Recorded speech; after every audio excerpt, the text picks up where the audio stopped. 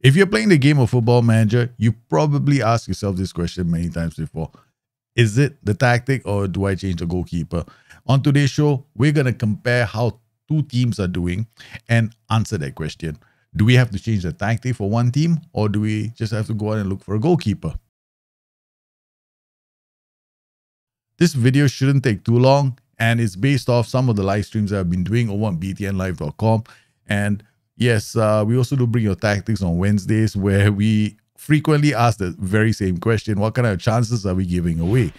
Now, when you're playing the game of football manager, you got to be very careful because sometimes you could be you could have a really good tactic, but you're conceding goals and you're blaming the goalkeeper when in reality, changing the goalkeeper is not going to make much of a difference. So let's begin by looking at one team.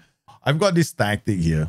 Looks pretty simple. We've done really well in terms of uh, lots of uh, matches where I've played. We've created some fantastic goal scoring opportunities. Here you can see three clear cut chances against Copenhagen. Against Inter, it was three clear cut chances again against Inter. So, yes, looks like the tactic looks good, right? Now, the thing is, want to do a deeper dive into those numbers. Right? So you go to the data hub, I go to team, I go to team performance. The first thing I check is this defensive efficiency because this tells me on average how many shots my team has to face. They face on average eight shots a game. Now, that's not too bad. Eight shots they face per game. Some of these could be off target. You know, that's that's okay. So how have we done in the last five games? Now I want to understand if I'm facing eight shots per game, what kind of shots am I giving away? To find that information out, we don't have something here. What I normally have to do is I have to go to um, last five matches. The goals conceded location, as you can see, they are fairly central. These are pretty solid XG chances.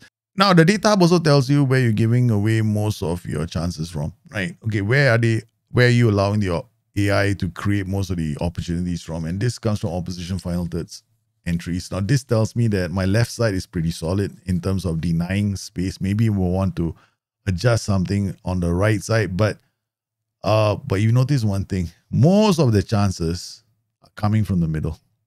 This explains why our shots are so centrally placed. So, this tells me that this tactic, while it is decent at creating chances, it also gives opponents fairly good chances from within the area.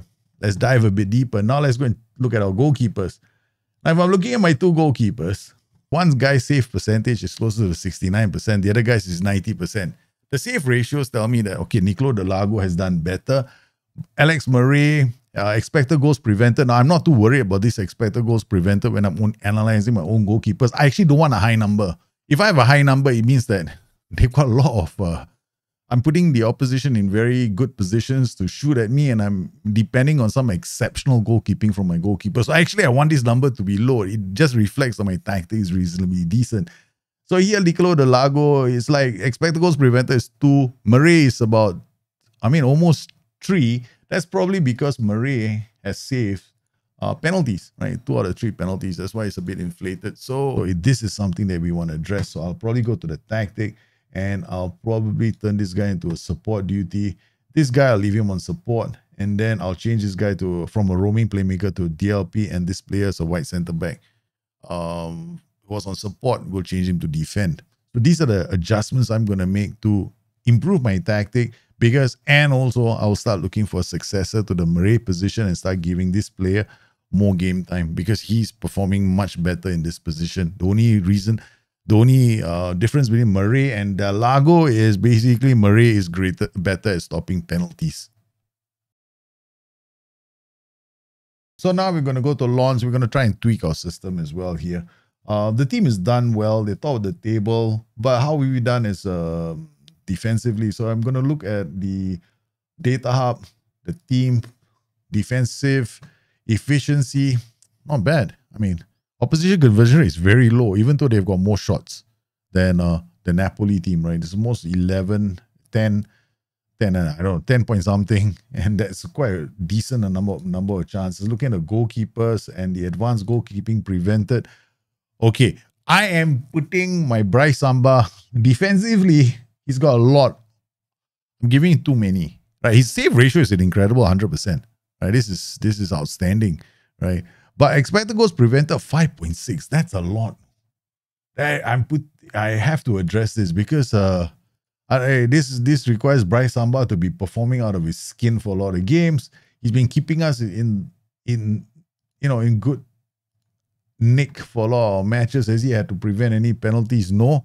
So it would seem that we still need to address this issue because um yeah we have to improve our defensive structure. So I will go to the data again and look at the last five matches. Now the last five matches, it seems that uh well, we limited them. They, they're finding it pretty hard to attack us down the flanks, right? The left wing, it's not an easy area for them to score from. Um, and then uh, we've considered none of the shots attempted from outside the area, which is good. They're, yeah, if they're outside the area, rarely get to shoot from there. Um, we've considered just one out of 47 attempts from inside our penalty area. Now, this could be down to a lot of reasons, right? Shot, safe, block. You can just mouse over this off target, uh, block, off target. So a lot of these shots have been blocked or they're off target. Um, and if I'm looking at this, this is where I need to improve. There's most of the chances if they come, they're coming centrally.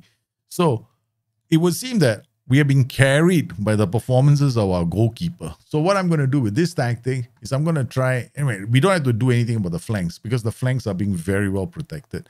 So what I would do is probably change the role. So here, future games, we'll play him as a ball-winning midfielder on defense. Probably with this role, I play him as a deep lying playmaker on support, or maybe even uh, we'll try a volante on support here, so he moves up the pitch and see whether this helps us uh, shore up the central areas that we need to defend.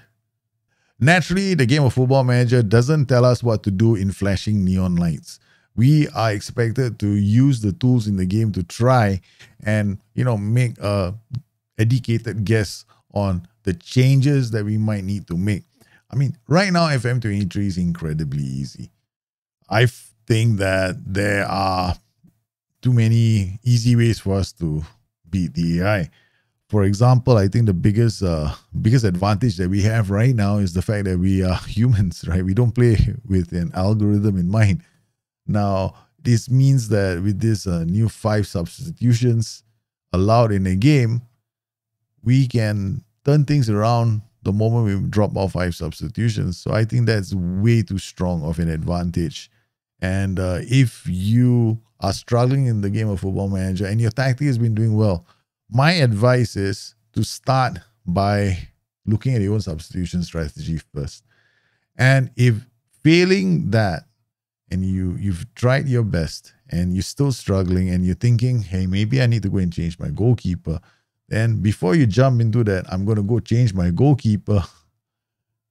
Try and understand where your chances are coming from. Where try and before you change, before you change, now, bef- now, before you go changing your goalkeeper, I think it'd be a good idea if you try to understand whether you're giving your goalkeeper a superhuman task to do in the game of Football Manager. Because if you are, then perhaps tweaking your tactical system might improve your performances. And there are tools in the game that help us out.